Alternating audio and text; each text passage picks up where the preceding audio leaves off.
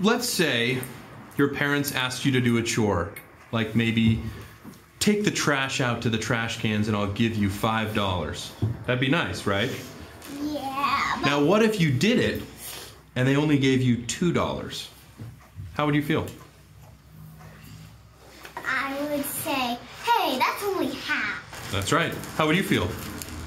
Well, I would feel sad inside, I would also be polite.